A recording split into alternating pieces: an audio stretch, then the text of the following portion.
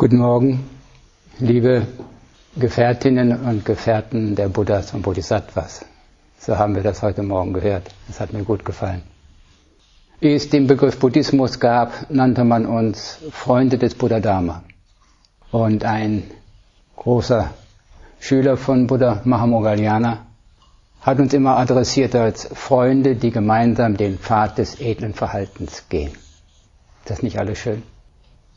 So zusammenzukommen, das ist mir wichtig, das auszudrücken, tun wir als Gemeinschaft, als Menschen, die einen spirituellen Pfad miteinander gehen. Manchmal brauchen wir den Ausdruck Sangha dafür. Sangha heißt ganz einfach in diesem Kontext Menschen, die zusammenkommen.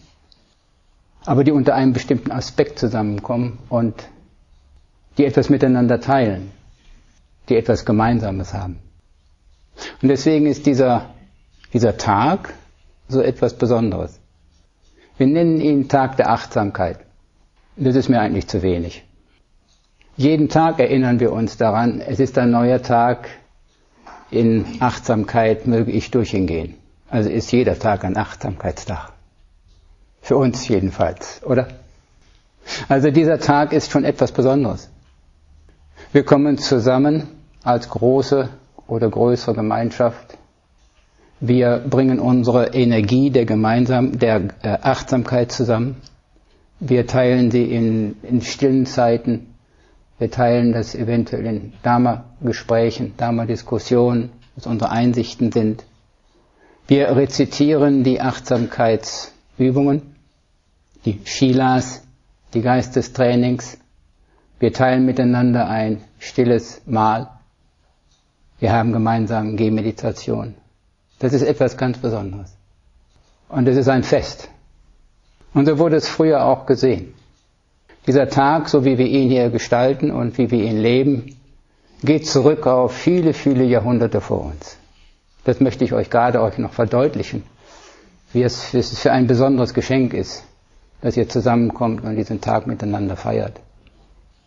Als der Buddha lehrte, lebte und um sich herum eine Gemeinschaft sammelte von Mönchen und dann später auch von Nonnen, war es in seiner Zeit eine starke religiöse und spirituelle Energie. Viele Heilige, Sadhus und Gelehrte waren unterwegs. Buddha war einer von ihnen.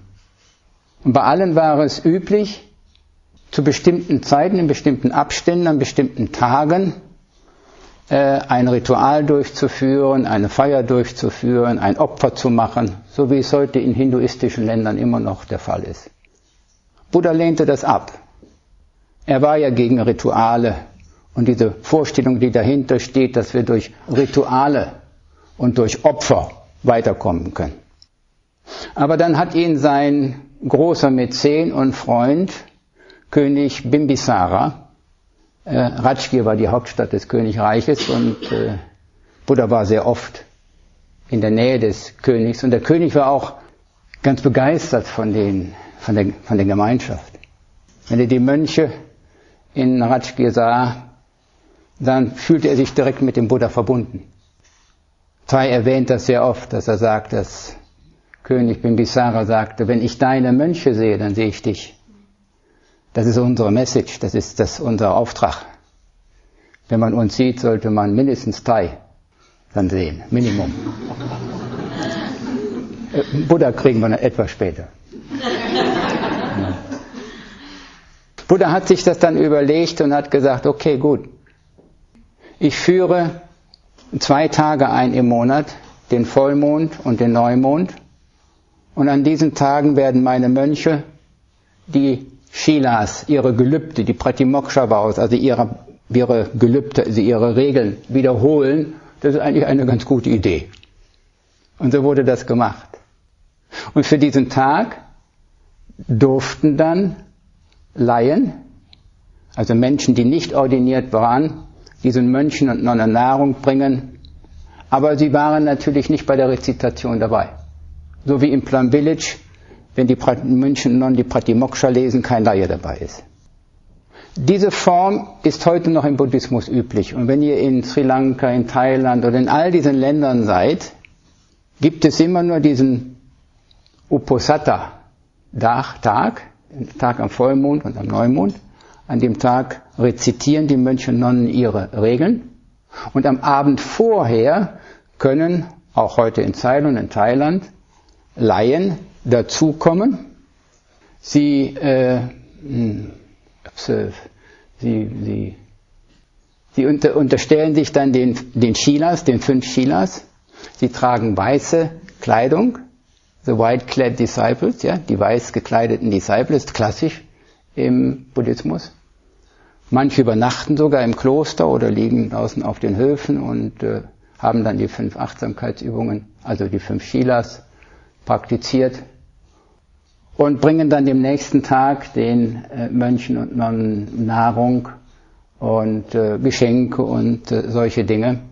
Denn es heißt, als Nicht-Ordinierter ist das erste größte Verdienst, was man machen kann, ist, in der Nähe von Ordinierten zu sein, also das Dharma aufzunehmen, zu sehen, wie es praktiziert wird und die Sangha zu unterstützen. Auch das lest ihr doch oft. Aber das ist alles, was Laie machen können. Das hat sich dann in China sehr geändert. Nachdem das Mahayana in China gegriffen hat, wurden Laien dann mit dazugenommen. Sie durften sich also jetzt bei den Mönchen mit dazusetzen. Sie durften dann sogar die fünf Achtsamkeitsübungen vorher rezitieren und dann gingen sie raus und dann wurden, haben die Mönche und Nonnen ihre Pratimoksha Baus rezitiert. So wird es heute noch im Plan Village gehandhabt. Und langsam nahm des, die, die Kraft der, der Laien zu, so dass sich sogar erstaunlicherweise irgendwann mal die Sache umdrehte und Mönche und Nonnen gekocht haben und haben dann für diese Versammlung, wo man gemeinsam miteinander etwas gegessen hat, dann die Nahrung bereitgestellt. Damit seid ihr beim Plan Village Modell. Diese, diese Entwicklung ist absolut einmalig und sie hat auch nur ein paar Jahrhunderte gedauert. Sie hat ungefähr 500 nach Christi eingesetzt in China, hatte ihren Höhepunkt um 900 und dann entstanden langsam große Gemeinschaften, Gemeinschaft für achtsames Leben, nennen wir das hier heute, äh, die dann zu bestimmten Zeiten, einmal im Monat, zusammenkamen, miteinander in Schweigen gegessen haben, die Achtsamkeitsübungen rezitiert haben. Und da es dann zu der Zeit für sie keine Lehrer dann gab, es gab keine Laienlehrer, gibt es nirgendwo im Buddhismus, außer bei uns, hat man dann eine Sutra miteinander gelesen. Und es war dann so, und auch das kennt ihr aus Plum Village, die Sutra wurde von verschiedenen Leuten dann gelesen, ja, sodass an sich viele im Raum daran beteiligt waren, diese Sutra vorzulesen.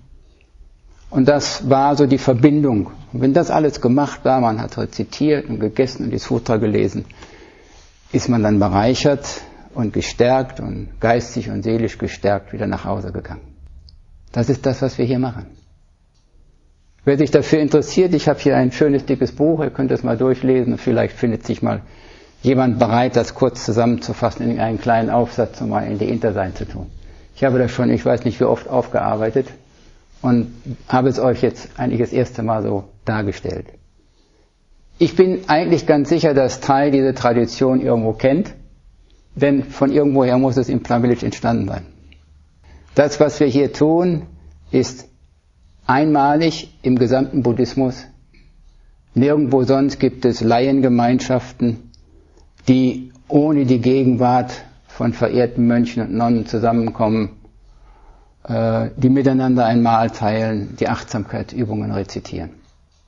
Und deswegen nehmt diesen Tag als etwas ganz Besonderes. Schätzt ihn, ehrt ihn, feiert ihn und inspiriert alle, die zu dieser Gemeinschaft gehören, und das sind sicherlich mehr als hier, inspiriert sie, herzukommen, die Kraft zu tragen. Es ist nicht einfach irgendetwas, wo man sich überlegen kann, ob ich da nun hingehe oder nicht. Ja? Oder ob ich überlege, ob nicht an dem Tag äh, das bessere Wetter in den Bergen wäre. Das ist äh, eigentlich nicht so ganz die Überlegung, die hier hingehört. Ja, das muss ich ehrlich sagen. Ja. Es ist so eine, ein, ein, ein wichtiges Momentum. Denn wir brauchen die Unterstützung voneinander. Wir brauchen dieses gemeinsame Tragen. Wir brauchen dieses gemeinsame Stärken von, von Energie, von Achtsamkeit. Wir brauchen auch das Vertrauen in den Weg, dass wir nicht alleine sind. Denn wir sind eigentlich äh, schon etwas Ungewöhnliches. Nicht wahr? Es hat von Anfang an ja mehr Menschen um Buddha herum gegeben, die nicht ordiniert waren als Ordinierte. Nicht, wenn er ging und seine Vorträge hielt, so von Dorf zu Dorf, waren das ja die Dorfbevölkerung, die Stadtbevölkerung. Und es waren auch ganz viele Menschen, die reich waren, weil die nämlich die Zeit hatten, zu diesen Vorträgen zu kommen. Die anderen mussten auf dem Felde sein. Es war also immer schon eine etwas elitäre Gesellschaft, wie es auch heute noch ist. Ja, der Buddhismus in Amerika ist immer noch ein weißer Buddhismus. Es gehört immer noch in die etwas gehobenere Gesellschaftsschicht.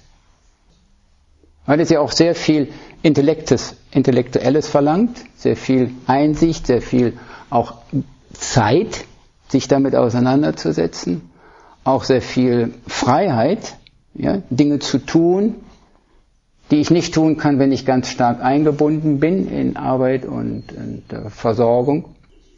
Und so war es normal, dass äh, Menschen, die eigentlich zur gehobenen Schicht gehörten, zum Buddha kamen, zu seinen Vorträgen und ihn fragten. Und es gibt eine der, der schönsten Sutren und in der der Buddha dann diesen Menschen mitgeteilt hat, was sie eigentlich alles tun können. Und dieses Sutra beginnt damit, dass äh, die Reichen des Dorfes oder der Stadt, wo immer das gewesen ist, zu ihm kamen wie es klassischerweise hieß, sie setzten sich an seine Seite, ja, und sagten dann, verehrter Gautama, so hieß der Buddha zu seiner Zeit, wir sind äh, keine Ordinierten. Wir haben Frauen und Kinder und wir lieben sie. Wir haben Häuser und Gesinde und äh, Geld und wir lieben das. Und wir haben Schmuck und Parfüm und äh, weiche Betten. Und wir lieben das. so. Deine Monastiks, deine Mönche und Nonnen sind da ja schon ziemlich anders, oder? Die haben nichts davon. Absolut gar nichts. Der Buddha hatte das ja ganz bewusst aufgesetzt. Dass alles das, was uns bewegt und auch besetzt, ja, äh, dass er das ausgeräumt hat. Können wir denn eigentlich dann überhaupt was tun? Mit all diesen ganzen Dingen im Vergleich zu den Mönchen und Nonnen? Das war damals schon die Frage. Und das ist heute immer noch die Frage. Der Buddha hat nie das Wort Laie gebraucht. Das möchte ich einmal ganz, ganz deutlich sagen. Ja. Ich weiß nicht, wo das Wort herkommt. Er hat immer gesagt Householder. Das ist aber kein Haushälter, sondern ganz einfach jemand, der Grund und Boden und Besitz hat und ein Haus, hieß auch früher, hieß sogar auch noch bei den Römern, alles das, was dazugehört. Das Gelände und das Gesinde und das Kuh und das Vieh und die Familie und so weiter. Und so sind wir Hausholder. Der altklassische deutsche, die altklassische deutsche Übersetzung heißt Hausner. Das findet ihr als Begriff in den alten Sutren. Was können wir nun tun als Hausholder? Der Buddha hat, ich, ich würd, muss es so anfangen, heute würde er wahrscheinlich sagen, oder ich mache es dann so sagen, was wollt ihr denn? Warum kommt ihr eigentlich her? Warum kommt ihr vielleicht sogar lange Wege her und sitzt da in Schmuck und Parfüm? Warum kommt ihr? Seid ihr nicht damit zufrieden, was ihr habt? Fehlt da vielleicht was? Das hat der Buddha gefragt. Ihr habt doch offensichtlich alles. Ihr habt alles das, was ihr wollt. Meistens, hoffentlich. Und ihr habt das, was ihr liebt. Hoffe ich auch. Aber wenn ihr mich fragt, ob ihr in dem Feld vielleicht noch mehr haben könnt, dafür bin ich nicht zuständig. Das wisst ihr. Denn meine Mönche und Nonnen, denen habe ich das grundsätzlich mal erst alles genommen. Also scheint bei uns was anderes zu passieren. Wo ist die Verbindung? Was wollt ihr? Und er hat sicherlich nicht gefragt, seid ihr unzufrieden? Das nicht. Sondern er hat versucht herauszuhören, was wollt ihr wirklich? Was, was wollt ihr wirklich als Menschen? Wo ist es vielleicht noch etwas, was ihr bei all dem, was ihr tut, was ihr habt an Reichtum, an Geld, an Ansehen und so weiter, vielleicht gibt es da noch eine Ebene, die dadurch nicht berührt wird.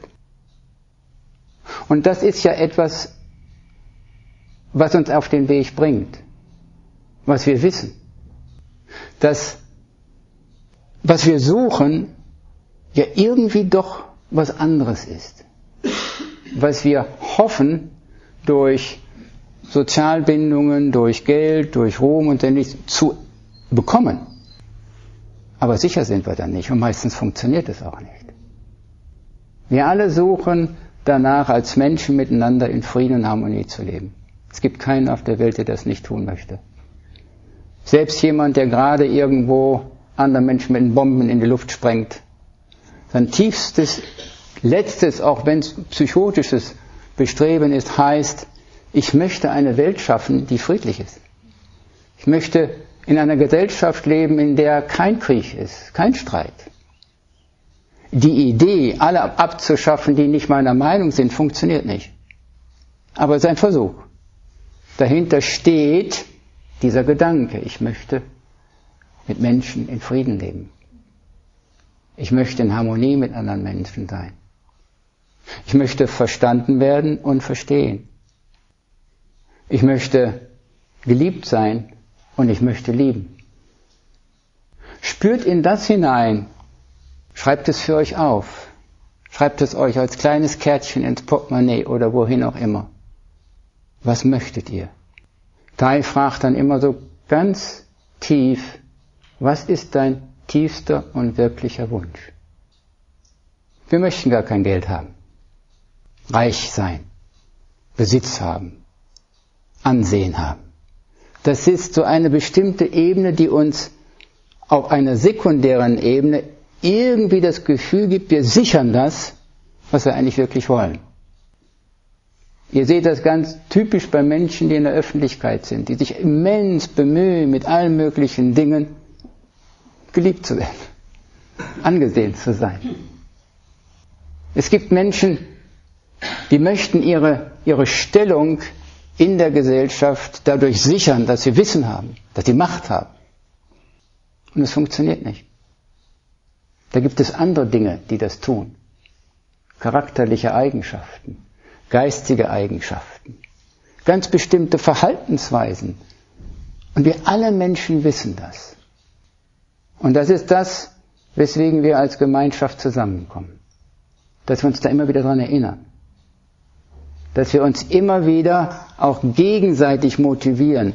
Du denk dran, was du wirklich möchtest, ist irgendwo auf einer anderen Ebene. Und das, wo wir beiden uns jetzt drüber unterhalten, ist Plastik. Wie viel Stereoanlage oder Auto oder Frau oder Kinder oder was auch immer, ist Plastik. Nicht im negativen Sinne, sondern wir versuchen was zu sichern, worum es eigentlich gar nicht geht. Und als Mensch, da habe ich mit, habe ich jetzt das Sozialumfeld angesprochen, nicht? Die Art und Weise, wie wir miteinander sein wollen. Als Mensch möchte ich, heute wird das genannt in, im, im Rahmen der humanistischen Psychologie Selbstverwirklichung. In uns allen liegt dieser tiefe Wunsch, das größte und beste Potenzial aus uns, als uns, als uns Menschen auch zu verwirklichen. Individuation nannte das C.G. Jung. Ein tiefes Bedürfnis. Maslow nannte das eben Selbstverwirklichung. Und deswegen ziehen uns ja Menschen an, die da äh, dem näher gekommen sind. Ja? Deswegen zieht uns ein Buddha an. Sonst, sonst wüsste ich nicht, was, äh, was, der, was da an dem attraktiv ist. Also so wollte ich nicht leben. Aber so möchte ich sein. Und heute ist es ja wirklich so, dass die Gewissheit dafür wieder schon stärker geworden ist. Selbst in unseren christlichen Ländern, vor allen Dingen auch in Deutschland, wird der Dalai Lama als die Person angesehen, die die Menschen spirituell anspricht, nicht der Papst. Und es geht nicht um Buddhismus, das ist mir ganz wichtig zu sagen. Ich sitze hier nicht als Buddhist, sondern als jemand, der von einem tiefen Bedürfnis geführt wird, so ein Mensch zu werden. Und das hat mit irgendwelchen Ismen überhaupt gar nichts zu tun. Tai nennt das, bringt Spiritualität in euer Leben. Und der Dalai Lama ist mal gefragt worden, was ist denn Spiritualität? Er sagt, das ist ganz einfach. Zu verstehen und Mitgefühl zu entwickeln. Das ist keine Esoterik, das ist nichts äh, irgendwie Besonderes. Das gehört zu keiner Religion. Und das ist alles tief in unserem Herzen. Deswegen setzen wir uns dazu. Deswegen setzen wir uns und fragen, du, wie soll ich das machen? Irgendwo tu ich, mache ich ja was falsch. was, tue, was soll ich tun? Denn wenigstens diesen Aspekt des erfüllten und erwachten Menschen, den möchte ich realisieren. Mir ist schon klar, dass ich äh, nicht reich sein muss. Aber vielleicht äh, möchte ich von innen her strahlen, möchte ich da sein. Und ich weiß, dass ich dann alles das, wonach ich äußerlich suche, erreiche. Aber ich tue es nicht, damit ich das kriege. Ja. So hätte wahrscheinlich der Buddha relativ lange mit den reichen Leuten gesprochen. Und so spreche ich mit euch. Das ist das, woran ihr euch immer wieder erinnern müsst. Morgens der erste Gedanke heißt, was möchte ich von meinem Leben? Wie möchte ich das einrichten? Wohin möchte ich? Und dann weiß ich, was ich tun muss. Ich werde immer jemand fragen müssen, der den Weg gegangen ist. Für uns ist das äh, unbekanntes Gelände. Wir sind anders erzogen, wir leben in einer anderen Gesellschaft. Wir müssen schon auf jemand zugehen und sagen, du, wie ist das? Wie kultiviert man eigentlich Mitgefühl? Ich habe davon gehört, das soll toll sein. Wie geht das? Die Tage hat mir ein, ein Freund im Dharma, ein lieber Freund im Dharma aus Italien, einen, wie heißt das, diese YouTube, von YouTube, also ein Link zu YouTube. Also das ist diese, diese Filmschnitt- und Video-Mitteilungsplattform auf dem Internet.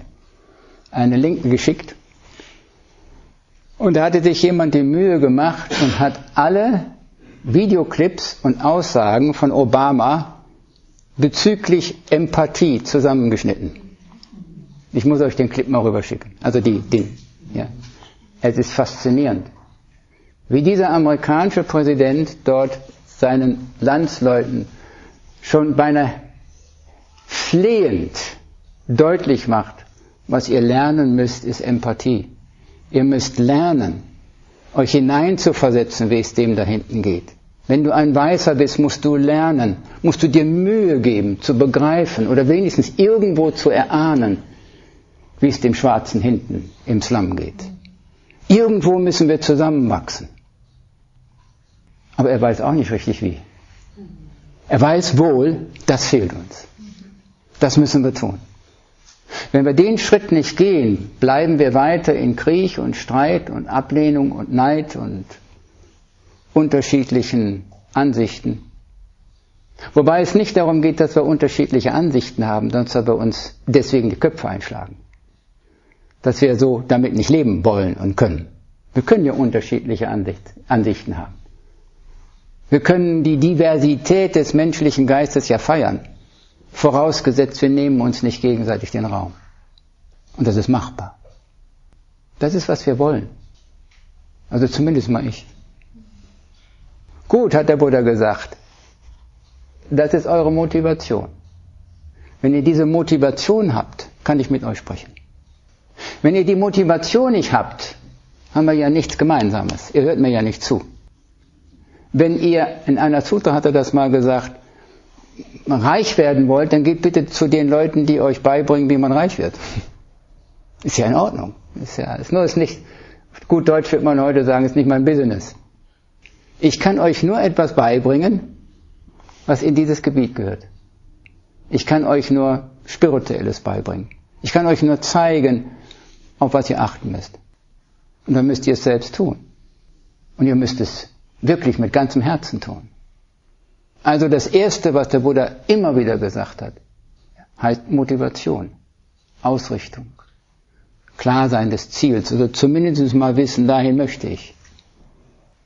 Und das ist eine ganze Menge schwierige Arbeit für uns. Wir leben in einer Gesellschaft, die eine völlig andere Ausrichtung hat, die völlig andere Ziele hat. Ich zitiere immer wieder ein ganz interessantes Buch in dieser Richtung von einem Zeitmanager, also so ein äh, äh, äh, Firmenberater, Manager, Time Manager, ja sowas. Ein, einer der bekanntesten Amerikaner, Covey. Schon mal gehört das Buch Die sieben Wege des, des effektiven Lebens? Nein, müsst ihr unbedingt lesen. Ja, ist spannend, spannend geschrieben. Und er sagt, das Problem ist, das wir heute haben, ist, dass unsere gesamte Gesellschaft ausgerichtet ist nach einem, wie er es nennt, nach der Image-Ethik. Das Wort ist gut, ja? Ihr könnt es direkt verstehen, ja? Image-Ethik. Es geht nur darum, wie sehen mich die anderen, bin ich geliebt, habe ich genug Geld, habe ich Ruhm, habe ich Ehre und ähnliches mehr. Ja? Im Buddhismus nannte man das oder nennt man das die Eight Worldly Concerns, die acht weltlichen Belange, absolut identisch. Und er hat lange über Jahrzehnte Menschen verfolgt und eben festgestellt, ich kann Ihnen ja nichts sagen. Sie wollen ja nur Ergebnisse, Sie wollen ja nur Erfolg, Sie wollen ja nur ganz schnell. Keiner will sich Mühe geben, mal nachzuschauen, wo, wo ist das Problem eigentlich. Unser Weg, so nennt ihn Covey, heißt Charakterethik. Und ich hoffe, ihr kriegt nicht gleich so einen Schauer über den Rücken, Charakter. Er braucht noch ein schlimmeres Wort, Prinzipienethik. Noch schlimmer. Prinzipien. Alles Worte, die heute irgendwie ganz schwierig zu gebrauchen sind. Aber dahinter steht, wenn man genau hinschaut, dass diese Prinzipien Verhaltensweisen, Denkweisen sind, die für uns als Menschen notwendig sind, die wir brauchen, die uns als Menschen überhaupt zur, zur, zur Gesellschaft machen und die von allen Menschen unterstützt wird. Ehrlichkeit, Geduld, Fairness, Verstehen, Mitgefühl. Zählt sie alle auf. Und ihr wisst genau, wovon ich spreche. Das sind die Einstellungen, die Prinzipien, die unser Leben führen sollten. Nach denen sollten wir unser Leben ausrichten. Im Buddhismus nennen wir das dann heilsame Geisteszustände. Alles identisch. Deswegen liebe ich so moderne Ansätze, die eigentlich aufs Gleiche rauskommen. Und ich habe ja eben gemerkt, als ich dachte, da ist von irgendeinem Amerikaner oder ein Time Manager, Time Manager, da sagen alle, um Gottes Willen, sowas lesen wir doch nicht. Doch. Ja. Wir müssen uns wirklich darauf besinnen, was wir wirklich wollen, und so schwierig ist das gar nicht. Nur im täglichen Leben mag es hier und da ein bisschen klemmen. Wir machen vielleicht dies und jenes Spiel nicht mit und sind diese oder jene Dinge nicht mehr so wichtig. Und so kann es uns passieren, dass wir so ein bisschen uns absetzen, ein bisschen so uns entfernen von den anderen, die bisher unsere Freunde waren und von denen wir dann irgendwann sagen, no, möchte ich nicht, möchte ich nicht mehr, ist nicht mein Ding. Und deswegen ist es so wichtig, dass wir so als Sangha uns auch unterstützen. Und zwar nicht deswegen, weil ich denke, dass wir nun als, äh, als Randgruppe zu uns zusammenrotten. Ja, und uns gegenseitig das Gefühl geben, jetzt wir haben's. Ne? Also, die anderen sind ja alle nicht. Ne? So, aber wir haben die Wahrheit. Ne? Ich kenne das nur als Sannyasin, ich bin ja früher mal Sannyasin gewesen. Wir hatten's. Ja, wir sind und haben die Welt belehrt und haben denen ganz klar gesagt, hier, Maler, und so. Ja, war schon ziemlich aggressiv. Ja. Das möchte ich nicht. Ich bin nicht gegen jemand. Ich bin nur für etwas. Ich bin für etwas, was eigentlich wir alle Menschen wollen. Und das ist ganz wichtig, dass wir uns daran erinnern. Dass wir jetzt also nicht irgendeine Elitärgruppe sind, ja, die so samstags zusammenkommt. Sondern auch ein bisschen so wie ein paar verlorene Menschen, die sich an den Händen halten müssen und sagen, was machst du denn mit dem neuen BMW? Hm? Dann kann man sagen, fahr ihn mit Freuden, aber häng nicht an ihm. und dann geht es schon wieder ein bisschen besser. Ich habe früher immer gesagt, man erkennt eine, eine Sangha darin, dass sich die Menschen darüber unterhalten, was sie loswerden. Und nicht, was sie kriegen. Ja? In der normalen Gesellschaft, normal, Entschuldigung, ja, also der, die, was hier so üblich ist, unterhält man sich darüber, was man gerade frisch gekauft hat, welche Stereoanlage man hat und, und, und so weiter. Und wie gesagt, in einer anderen Gesellschaft erzählt man sich, wenn man das gerade losgeworden ist. Aber auch da bitte kein System von machen. Ja? Also jetzt so Stolz aufbauen. Dann äh, haben wir es schon wieder verpasst. Das ist die größte Arbeit, die wir als Gefährten des Buddha haben. Der Buddha war ja ziemlich rigoros, nicht wahr? Und Mönche und Nonnen sind da schon, schon sehr rigoros. Nichts von dem, was uns also irgendwo noch interessiert, ist für sie interessant oder sollte für sie interessant sein oder kann für sie nicht interessant sein. Es ist unsere große Arbeit als Hausholder, uns auszurichten. Eine schwierige Arbeit. Tai hat immer wieder gesagt früher, es ist viel einfacher, Mönch zu sein. Wir haben eine, wir brauchen viel Kraft. Und wir brauchen ein ganz tiefes Vertrauen. Ein Vertrauen in den Weg. Das, was der Buddha immer an Anfang gestellt hat, die Motivation und das Vertrauen, müssen bei uns viel, viel stärker sein als bei Monastics. Viel stärker. Wenn ich einmal Mönch oder Nonne bin, ist alles fein. Für alles gesorgt. Ich habe Gemeinschaft, ich habe Geld, ich, oder ich brauche auch kein Geld. Das bisschen wird mir geschenkt und gegeben. Ich muss mich nicht um den Job kümmern und, und, und, und, und, und, und, und. Ja. Wir haben es viel schwerer. Aber wenn es von innen her gefüllt ist, ist das eigentlich ja, was diese Welt braucht. Denn diese Welt besteht aus Householders. Nicht wahr? Die, ich weiß nicht, wie viel haben wir, wie viele Milliarden? Acht? Oder wie viel? Sechseinhalb? Ja. Sind alles Hausholder. Die wenigen, die das nicht sind, sind also so, so ein bisschen. Es ist also unsere Aufgabe. Es ist unser, unsere Botschaft, da, wie ich es immer nenne, in Anlehnung an Thais Worte, die spirituelle Dimension in unser Leben zu bringen. Aber spirituelle Dimension ist nicht Weihrauch und Kerzchen und äh, solche Dinge, ja? Sondern von innen her eine, eine Einstellung und Zustellung zum Menschen und zu anderen Menschen, die tief erfüllend ist. Gut, haben dann die äh, Menschen früher gesagt, das ist uns alles irgendwo klar. Sonst würden wir uns hier nicht hinsetzen. Nee? Und wenn man in Indien ist und in diesen traditionellen, großen, spirituellen, hinduistisch-buddhistischen Ländern, da wird das auch nicht viel diskutiert.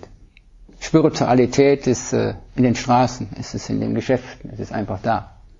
Diese Trennung, wie wir sie haben, hier ist das Materialismus und da ist so ein ganz klein bisschen was anderes, ist dort nicht so vorhanden. Deswegen ist für uns diese Arbeit anders.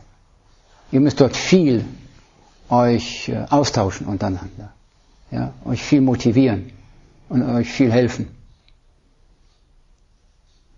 Der Buddha hat dann eben auf der einen Seite dann gesagt, gut, ihr, ihr habt das alles, aber passt auf, dass er euch nicht darin verliert. Er hat also immer wieder die Laien auf die Umgebung aufmerksam gemacht und dass sie schon ein bisschen aufpassen müssen, dass sie nicht äh, zu sehr allein durch ihren Lebensstil von all dem wegkommen, was sie wirklich möchten. Eine große Sutra steht uns noch heute zur Verfügung und es ist berührend, es ist wirklich berührend. Über seitenweise weg der Buddha den Menschen sagt, geht nicht abends aus, trinkt nicht, spielt nicht, geht nicht fremd. Seitenweise. Er hat ihnen Anweisungen gegeben, wie geht er mit eurem Geld um. Ein Drittel fürs tägliche Ausgeben, ein Drittel für the maintenance, also dafür, dass, dass, dass, man die, dass man das hält, und ein Drittel als Reserve für die schlechten Zeiten. Seitenweise hat er den Menschen deutlich gemacht, wie müsst ihr ein Leben gestalten, das so irgendwo so ein bisschen wenigstens etwas zusammenhält, was nicht völlig entgegengesetzt ist von dem, was ihr wollt. Lebt nicht in Umgebungen, die euch äh, wirklich völlig äh, besetzen und rausreißen. Habt Gemeinschaft, habt Umgebung, die euch darin unterstützt. Seid mit Menschen wie hier in der Sangha zusammen, die euren Weg gehen. Das ist für, für viele von uns der nächste große Schritt. Nachzuschauen, ist das, was ich tue, wie ich lebe, womit ich mich beschäftige, mit wem ich zusammen bin, ist das förderlich. Nicht, dass ich das jetzt von einem Tag zum anderen umkremple, sondern ganz einfach mal nachschaue, was mache ich so mit meinem Leben? Wie gehe ich damit um? Und wenn ich mit Menschen zusammen bin und sie fragen mich, was, Karl, was, wie, wie bringe ich nun Achtsamkeit in mein Leben? Dann frage ich erstmal, wie sie leben und ich sage, in das Leben kriegt man keine Achtsamkeit. Das ist so messy, messy, messy, verschmutzt, verschlammt, durcheinander, chaotisch. Da kriegt man keine Achtsamkeit rein. Da ist ja gar keine Luft für. Ja? Das ist ja so chaotisch und so kaputt. Jetzt setz dich mal hin und sieh dazu, dass du erstmal ein bisschen Ordnung reinkriegst. Ihr kennt die Sutra, die ich eben, die ich jetzt immer anspreche, kennt ihr nicht. Aber ihr kennt eine andere große Sutra die Tai für uns dann immer bereitgelegt hat. Und äh, ich hoffe, ihr zitiert auch ab und zu noch in den Zangon Sutren. Und ihr kennt die. Die sogenannte Mahamangala Sutra. Noch nie gehört, ne? Nein. Und die heißt bei Tai Sutra über das Glück. Ich habe es schon öfters kommentiert. Und hier sind es viele Götter und Menschen möchten unbedingt erfahren, welche Segnungen die größten sind, die ein friedvolles und glückliches Leben herbeiführen können. Das haben wir ja gerade soweit besprochen. Ne? Okay. Und die erste Anweisung vom Buddha nach der Motivation. Wenn die nicht da ist, kommt eigentlich auch die Frage nicht. Oder sie kommt falsch. Die erste Antwort heißt, den Umgang mit Narren meiden, in Gemeinschaft mit weisen Menschen leben und die Ehren, die es wirklich verdienen. In förderlicher Umgebung leben, gute Samen gesät haben und erkennen, dass man auf dem rechten Weg ist. Das lese ich euch jetzt nicht alles vor, ich kennt das, ihr kennt das, oder?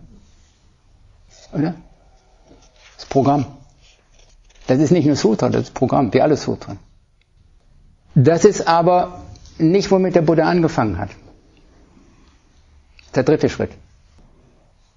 Der Buddha hat dann immer gesagt, weil es ist viel, viel knapper. Was willst du eigentlich wirklich? Wir haben das eben ausgebaut, ausgeschmückt. Charaktereigenschaften und ähnliches mehr. Der Buddha hat dann ganz einfach gesagt, das war immer seine Antwort. Du möchtest doch einen ganz bestimmten Geist, oder? Du möchtest einen Geist, der nicht hasst, der nicht gierig ist, der nicht ablehnend ist, der nicht wertend ist. Das ist eigentlich, was dahinter steht. Denn wenn du den Geist nicht hast, dann lebst du mit anderen Menschen friedlich. Dann verstehst du. Nicht wahr? Können wir das einsehen? Wir haben eben schon wieder erst uns nur auf der zweiten Ebene getroffen. Nach dem Plastik kam so diese allgemeine Beschreibung, was ich möchte. Der Buddha ist immer tiefer gegangen, hat gesagt, wenn du das möchtest, brauchst du den Geist. Du brauchst einen ganz anderen Geist als den, den du jetzt hast. Das ist die Arbeit. Halte dich nicht, und jetzt drehe ich die Sache mal ganz verkehrt um. Halte dich nicht an der Umgebung auf. Das äh, ist hilfreich. Und das möchte ich uns allen sagen, die wir in diesen Umgebungen leben. So schön wie das da alles geschrieben steht und so wichtig das auch ist und so sehr wir auch darauf Wert legen müssen und sollten, dass unser Umfeld für uns durchsichtig ist, dass unser Leben eine gewisse Form hat und, und, und ähnliches mehr. Ja? Dass wir nicht einfach nur Mess aus unserem Leben machen. Aber der Buddha hat nicht gesagt, jedenfalls nicht zu den Hausholdern, du kannst nur auf deinem Weg weiterkommen, wenn das erstmal gemacht ist. Dann kämen wir ja alle nicht weiter, oder? Hm? Oder nicht sehr viel weiter. Wir werden also immer wieder daran, an unserer Umgebung rumzudrehen.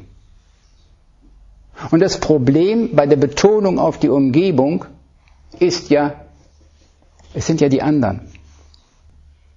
Also wenn es nach mir ginge, wäre ja hier Stille und Ordnung und Ruhe und Verständnis und Liebe und, ne?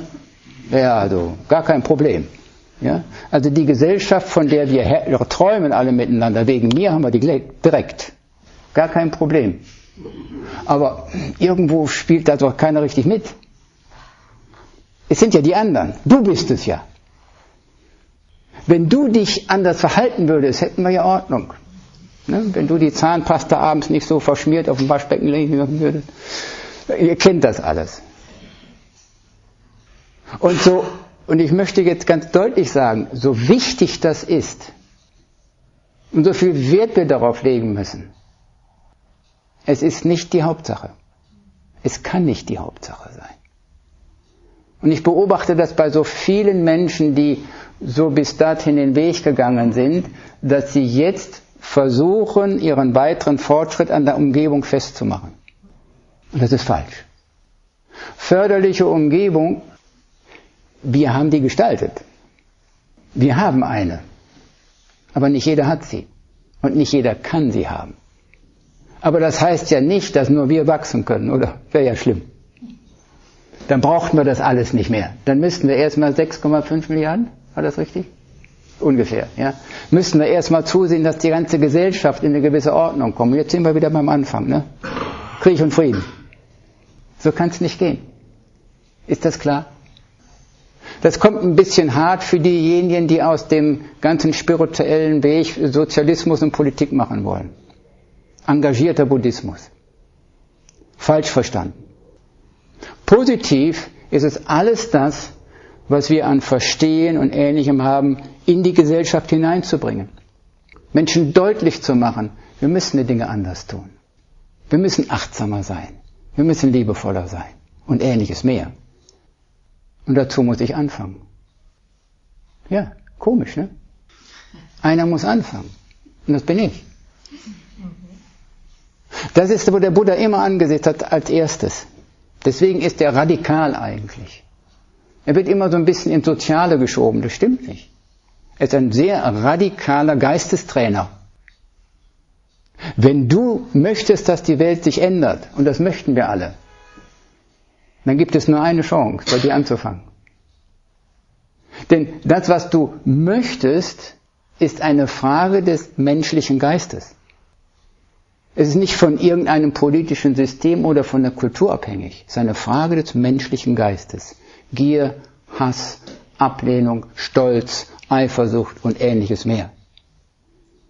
Unsere Aufgabe ist also an dem Geist, an dem menschlichen Geist zu arbeiten. Und ich kann nicht an deinem Geist arbeiten. Ist ja schon schwierig genug an meinem. Also sind wir immer auf uns zurückgeworfen. Das ist unsere Aufgabe. Da müssen wir ansetzen.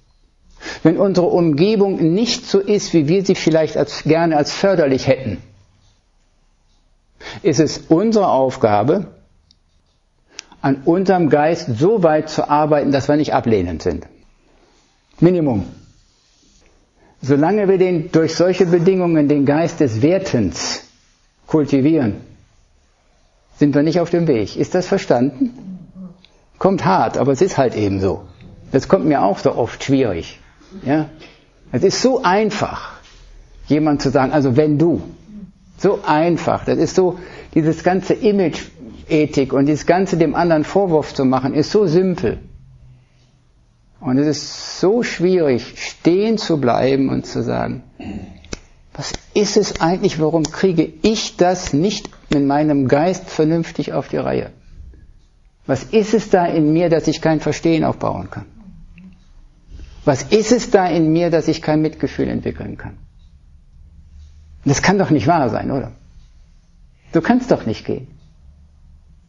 Helga erzählt immer wieder, dass sie auf den Weg gekommen ist, weil sie so unglaublich berührt, ist das ein Wort, begeistert, erstaunt war von den tibetischen Mönchen, die von Chinesen gefoltert wurden, 1959, als sie das Land verlassen mussten, und die dann gefragt wurden hinterher, hast du nicht viel Hass erlebt, in dir selbst auch? Er sagte, nein. Nein. Dazu habe ich lange Praxis. Ich hasse nicht mehr. Ja, aber die haben dich doch gequält. Ja, schon. Aber es ist kein Grund, einen anderen Menschen zu hassen. Ich habe durch meine lange Praxis verstanden, da ist ein menschlicher Geist unbewusst. Da ist ein menschlicher Geist äh, indoktriniert. Und ein menschlicher Geist, der so ist, der tut so etwas. Also kann ich doch nicht den Menschen hassen für etwas, wovor er ja nichts kann. Schlechtes Wort eigentlich, ja. Er ist ja im Moment gar keiner. Ich stehe ja auch nicht da und hasse das Gewitter.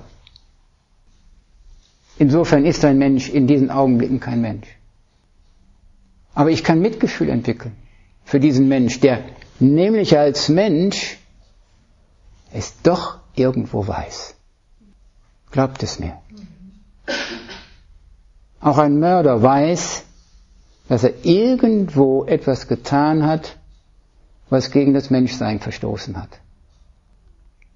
Da ist, wie wir es nennen, die Buddha-Natur. Und immer dann, wenn ihr mit einem Menschen sprecht und dadurch kommt, ist ein schwieriges Gespräch und ihr kommt irgendwo durch mit Verstehen und Mitgefühl an diesen Kern, ändert sich alles. Tai wurde mal von einem Psychiater öffentlich gefragt, was mache ich mit diesen Menschen, die haben das und das und das und das und die sind nicht ganz, sind psychotisch und ähnliches mehr. Und Tai hat gesagt, Moment, Moment, Moment. Du betrachtest diese Menschen jetzt nur als krank, nur als behandlungsfähig. Das ist ein Aspekt. Aber vergiss nicht, sie haben Buddha-Natur.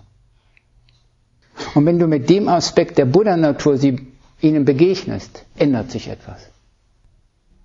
Man hat diese Dinge schon seit vielen, vielen Jahren auch in Europa festgestellt. Es gibt eine Untersuchung aus der Psychiatrie in Münster. Nein, es waren gehandicapte Kinder. Also Kinder, die äh, geistig, äh, wie nennt man das? Gehandicapt? Geistig behindert, geistig behindert sind. Und man hat dann festgestellt, wenn die Angestellten, die, diejenigen, die sie versorgen, die Pfleger oder so ähnliches, diese Kinder auch als geistig gestört betrachten, verhalten sie sich entsprechend. Ja? Irgendwo kriegt selbst dieser Mensch das komischerweise mit, obwohl er das gar nicht sollte. Der ist ja gehandicapt, der kriegt das nicht auf die Reihe, doch. Und man hat dann das Personal aufgefordert, diese Menschen so zu behandeln, als wenn die gute Freunde, was Wertvolles, was Wichtiges wären, als wenn die es mitkriegen würden. Und man hat Heilungen festgestellt, die unmöglich angesehen wurden. Ein völlig anderes Verhalten. Denkt also immer daran, wir kriegen es mit. Du kannst nicht lügen. Selbst wenn du freundlich bist zu mir und willst das eigentlich sein, ich kriege es mit. Ich spüre es. So tief müssen wir kommen, dass wir die Verantwortung für unseren Geist aufnehmen. Das ist die eigentliche Aufgabe. Die Umgebung ist gut und wohl und wichtig. Aber das, worum wir uns eigentlich kümmern müssen, ist unser Geist. Wenn wir uns um die Umgebung kümmern, wenn wir so ein bisschen darauf achten, dass unser Leben eine gewisse Ordnung hat. Dann nur deswegen, weil wir uns um unseren Geist kümmern wollen. Wenn wir die Bedingungen nicht haben, können wir uns immer noch um unseren Geist kümmern. Ein bisschen schwieriger vielleicht, aber die Aufgabe bleibt immer noch die gleiche. Die Aufgabe heißt, es ist unser Geist, der es macht. Die Aufgabe heißt, hasse ich, lehne ich ab, werte ich, bin ich ängstlich und ähnliches mehr. Daran arbeite ich.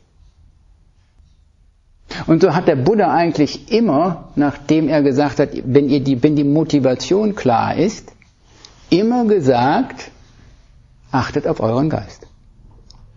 Das Geistestraining, die fünf Shilas, das als nächstes kam, sind ja nichts anderes in seiner klassischen Form auf töte nicht, lüge nicht, tu dies nicht, tu jenes nicht. Zehn Gebote. Aber das sind keine Gebote. Versteht ihr jetzt den Hintergrund dafür? Achte drauf. Kriege mit, was du für einen Geist hast. Kriege mit, ob du jetzt hast oder wertest oder ablehnst oder das Gegenteil. Das ist unsere Aufgabe. Deswegen ist es so wertvoll und so wichtig und so einmalig, dass uns Tai die Achtsamkeitsübungen in einer erweiterten Form gegeben hat. Klassischerweise heißt es ja einfach, tu das nicht. Prinzipiell richtig. Nur schwierig. Wie soll ich es machen? Ich würde gerne eine runterhauen. Ne? Ne? Ich habe Hass in meinem Geist und jetzt sagt mir irgendjemand, tu das nicht. Ja, da, wie? Hm. Ja. Ne? Runterschlucken geht auch nicht. Und so haben dann die späteren buddhistischen Lehrer gesagt, ist ja eigentlich ganz einfach. Du hast ja auch andere Seiten. Du hast ja auch Liebe, du hast Mitgefühl, du hast Verstehen. Also kultivier das. Und ganz langsam, wenn du das kultivierst und dann anwendest, wirst du deinen Geist herüberbringen aus die, von diesem Schwergewicht in jenes Schwergewicht. Das ist also eine ganz bestimmte Trainingsmethode, eine ganz bestimmte Form, mit unserem Geist zu arbeiten. Es ist uns eigentlich allen klar, ja? Die Motivation heißt, ich möchte einen Geist haben, der nicht hasst. Steht oben drüber. Der erste Ansatz heißt also jetzt, den wir praktizieren, dazu muss ich den Teil meines Geistes kultivieren, der verständnisvoll ist, liebevoll, äh, klar, sachlich und ähnliches mehr. Das ist unsere Aufgabe. Ja, das ist das klar vom Training, ja? Ja, ne? Hört sich einfach an, oder? Es ist auch einfach. Das ist also ein ganz bestimmter Ansatz, der natürlich verlangt, dass wir das ständig kultivieren. Ja?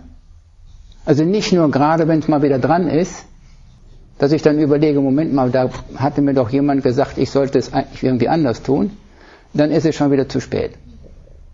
Ja, das ist das Problem dabei. Ich bin nicht immer in Situationen, in denen ich daran erinnert werde, dass ich so einen miesen Geist habe. Also vergesse ich das. Und wenn es dann aber drankommt, habe ich das nicht trainiert.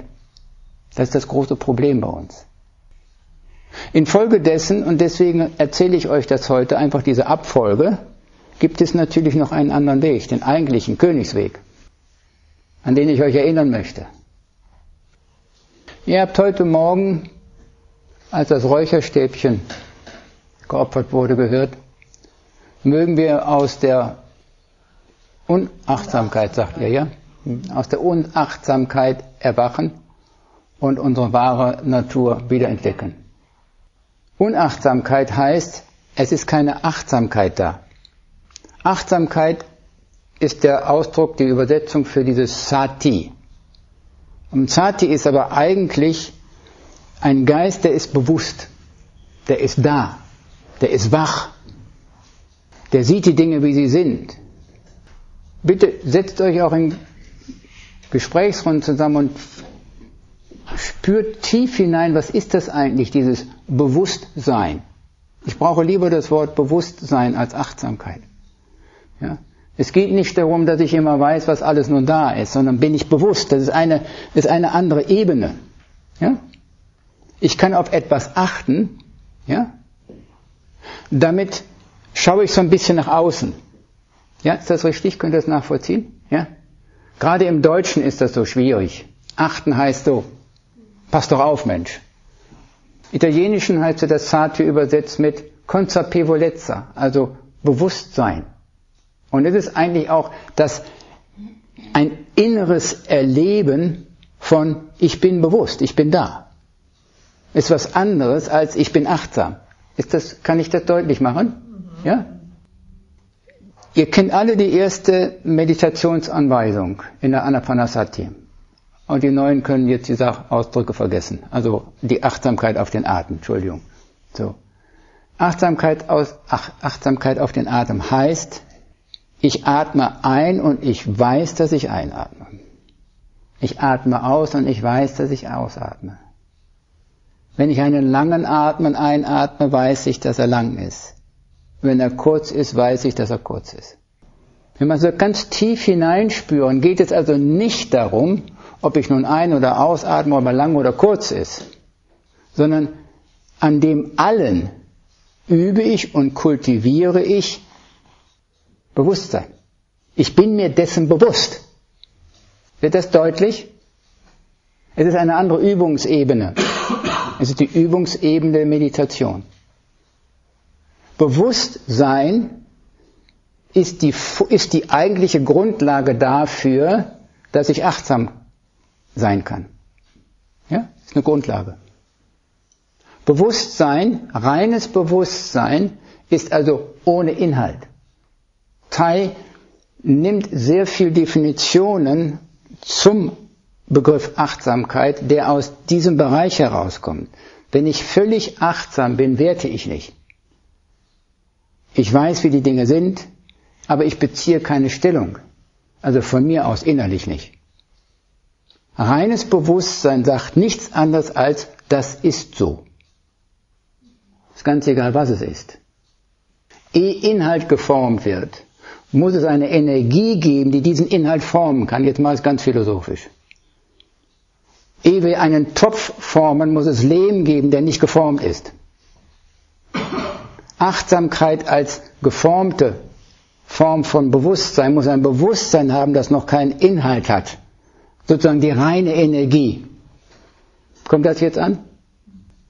Mir ist ganz wichtig, dass wir so praktizieren dass wir wirklich in unserer Achtsamkeitspraxis immer wieder dorthin spüren, bin ich wach, bin ich da. Nicht nur einfach bin ich hier spiritueller Buchhalter. Jetzt bin ich ärgerlich, wow. Und jetzt ist wieder weg, wow, oder so. Hm? Sondern es ist, im, im frühen Buddhismus spricht man vom Beobachter. Tai mag das Wort nicht. Weil irgendwo in dem Beobachter habe ich den Verdacht, dass er das, dass er das empfindet, dass da schon wieder jemand drin sitzt, ja, der äh, sich jetzt zurückhält und sagt, wir wollten doch nicht werten, wir beiden. Oder so. Ich weiß es nicht. Ja? Ich beziehe mich darauf, dass es so etwas gibt wie das reine Bewusstsein. Ich bin nichts anderes als bewusst. Ich bin da, ich bin wach. Und es ist so, als wenn ich als Individuum in diesem Augenblick nicht im Vordergrund stehe. Ja? Ich bewerte dich zum Beispiel nicht. Das ist etwas, was wir viel üben müssen. Ganz schön kann man das üben, wenn man bei Leuten in die Gesichter guckt. Wenn man durch alle Gesichter durchguckt und hat das kleine Gesicht und das junge Gesicht gesehen und das alte verhutzelte und ich weiß was nicht alles und nirgendwo kommt Wertung auf, sind wir ein Stückchen weitergewachsen.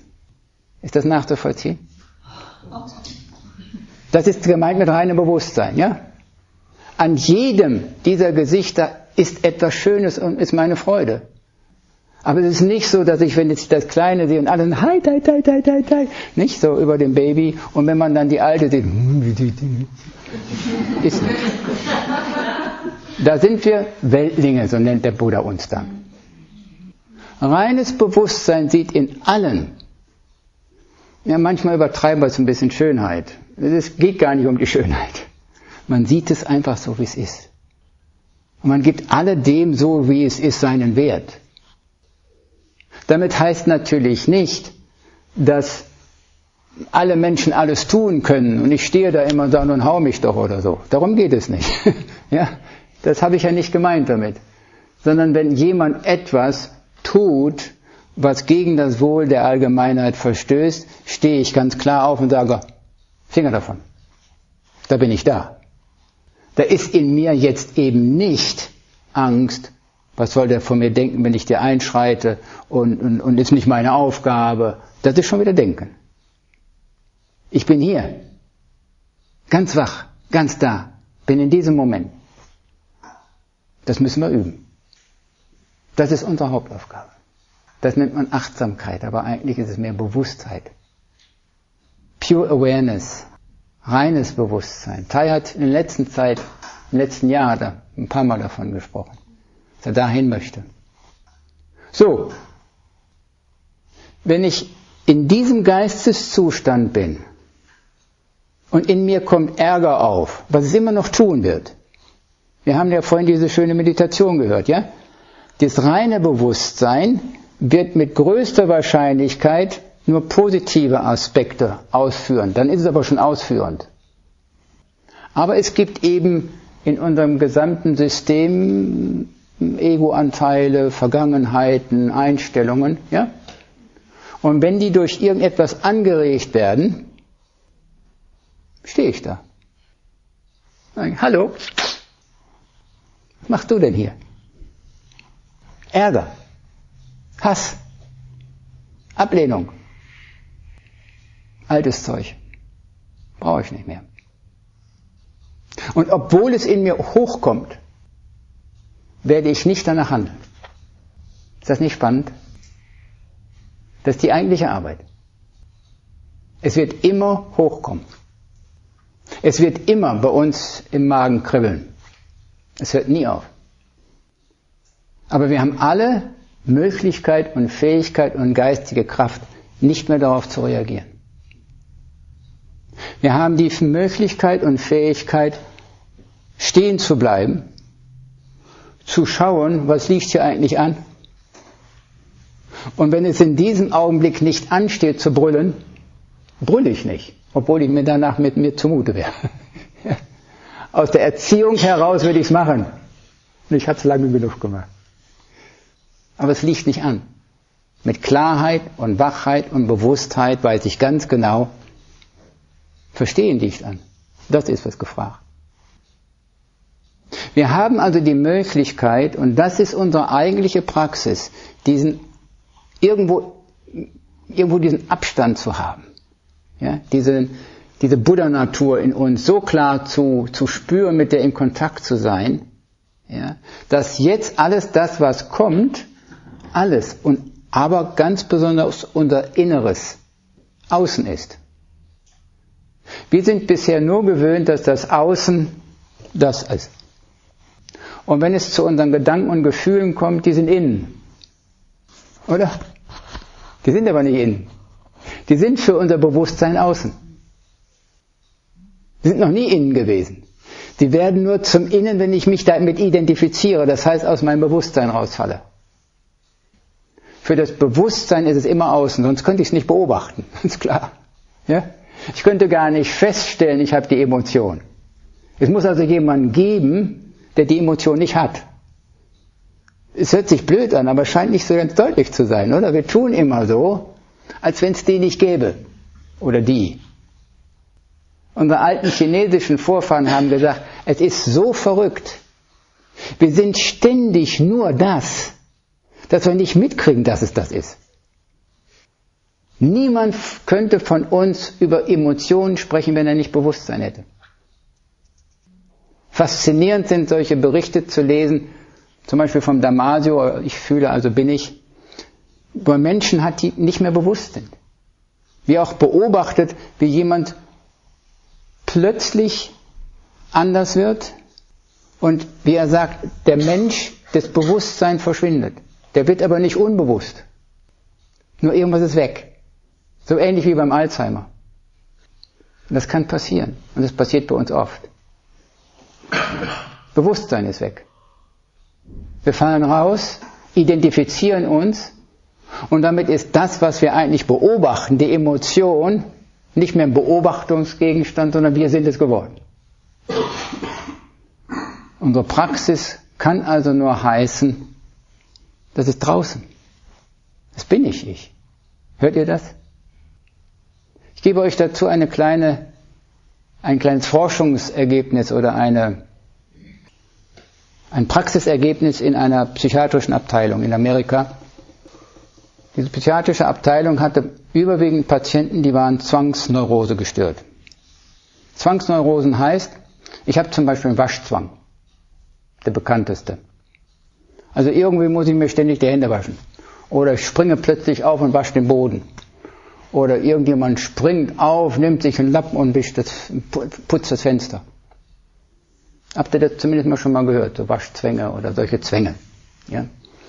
Ist eine ganz, ganz schlimme psychiatrische, psychologische Krankheit, weil dieser Mensch wie von einer fremden Macht geführt etwas tun muss. Diese Menschen wissen sogar, dass sie es eigentlich nicht tun möchten. Aber irgendwo ist niemand dort, der sagt, du, das liegt nicht an, das Fenster ist sauber. Oder hast du gerade vor fünf Minuten die Hände gewaschen. Der ist weg, der ist nicht da. Es ist aber, wir würden in unserem Sinne sagen, die Buddha-Natur noch da. Ist also noch irgendjemand, der, der weiß, das ist verrückt, was ich da tue. Es ist faszinierend. So. Jetzt hat man also festgestellt, dass das zurückzuführen ist auf eine bestimmte Gehirnanomalie, also das heißt eine Anomalie innerhalb der Neurotransmitter.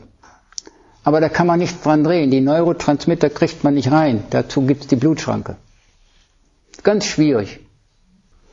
Und dieser Psychiater ist dann entweder Buddhist gewesen, geworden, was auch immer. Er ist also über das Buch gestolpert von Jan Aponika, das Herz der buddhistischen Lehrer.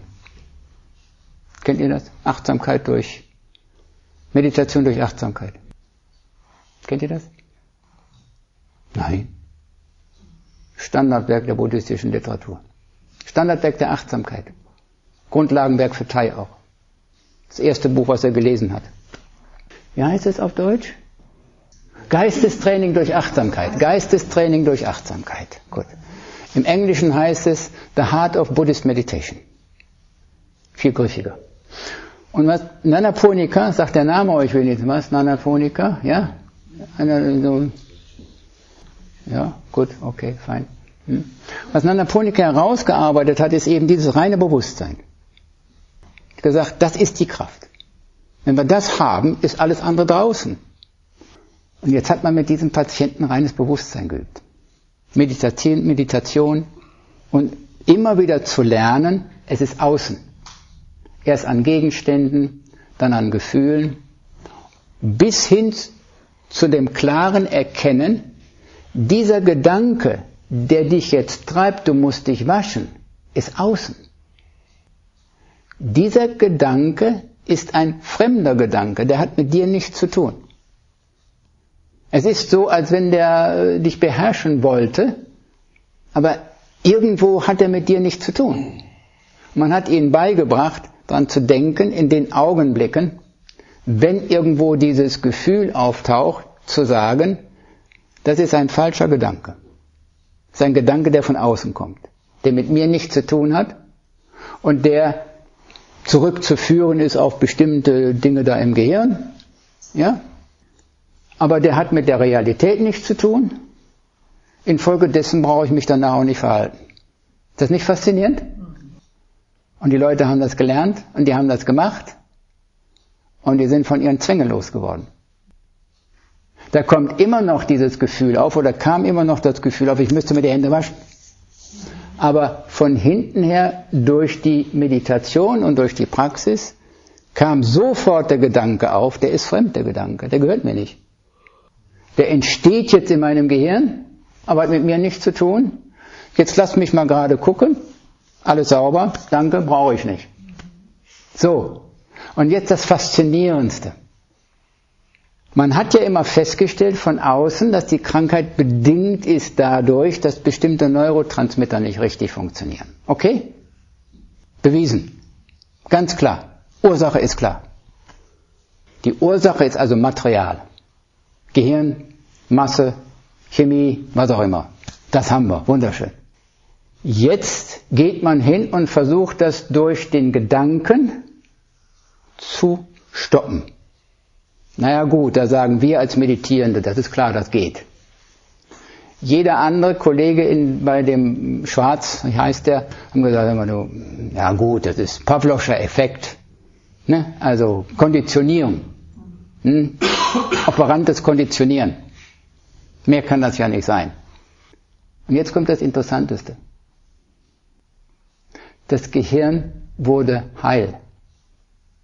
Das heißt, der Fehler, den man festgestellt hat in dem Fehler der Neurotransmitter, reparierte sich. Es ist völlig unklar warum. Wir wissen das. Aber für jeden anständigen, vernünftigen, westlichen Materialistisch ist, Materialisten ist das nicht einzuordnen. Es würde nämlich heißen, dass die Gedanken oder, und ihr hört dann Teil, ja, die 50 Verse, dadurch, dass ich es nicht ausführe, verändert sich selbst die materielle Basis. Das ist unsere Chance. Dadurch, dass ich nicht meinen Ärger ausdrücke, verändert sich, verändern sich die angelegten konditionierten Bahnen. Das Gehirn beginnt sich an diesen Stellen zu reparieren und eines Tages ist es weg. Ich kann gar nicht mehr anders. Ist zwar peinlich, ja? Freunde erkennen mich nicht wieder. Bisher hast du an der Stelle immer gebrüllt. Hm? Dann sage ich, ja, hm, aber ich weiß nicht, das habe ich wohl vergessen. Wie oft frage ich Menschen, wie, was hast du denn gemacht, dass es jetzt nicht mehr da ist? Und wenn jemand wirklich lange gut praktiziert, der kann mir nur sagen, ich weiß es nicht. Es ist weg. Aber das Geheimnis habe ich euch heute verraten. Und deswegen habe ich hier gesessen, so aufwendig. Das Geheimnis ist reines Bewusstsein. Das Geheimnis ist im Kontakt zu sein mit diesem Ich weiß. Ganz wach, ganz offen, ganz da. Immer wieder, immer wieder. Wenn wir also achtsam gehen, wenn wir achtsam sind, achtsam unser Geschirr spülen, achtsam essen und ich weiß was nicht alles, ja, ist das die einzige Chance, dass wir dann eines Tages plötzlich nach innen springen und sagen, ich weiß, dass ich spüle. Und plötzlich ist das Spülen draußen. Und vielleicht habt ihr das schon mal erlebt. Und deswegen ist die Praxis der Achtsamkeit so wichtig. Aber die Praxis der Achtsamkeit ist nur deswegen wichtig, weil wir im täglichen Üben, im konstanten Üben, in uns das reine Bewusstsein wachsen lassen und kultivieren. Es reicht nicht, das in der Meditation zu tun. In der Meditation, in der Stillmeditation haben wir die größte Chance. Und deswegen legen wir im Buddhismus auch so viel Wert auf diese Stillmeditation, auf die Achtsamkeit, auf den Atemmeditation und ähnliches mehr. Wir werden ja nicht von außen angetriggert. Es sei denn durch eigene Gedanken auch noch. Aber sonst ist ja keiner da, der uns ärgert. Ich habe also eine gewisse Chance, eine Geisteskraft zu kultivieren. Aber die muss ich natürlich in mein tägliches Leben bringen. Und das kann ich so nicht. In dem Moment, wo ich vom Kissen aufstehe, ist die weg, die bleibt da. Also muss ich sie wieder ankoppeln an die Achtsamkeit, mich üben, immer wieder üben. Und dann irgendwann ist sie plötzlich vom Kissen da im täglichen Leben. Und dann ist es draußen. Und dann brauche ich mir nicht mehr die Hände waschen. Die sind nämlich schon sauber. Habe ich das deutlich gemacht? Habe ich deutlich gemacht, wie wichtig die Praxis der Achtsamkeit ist? Ja. Gut, danke.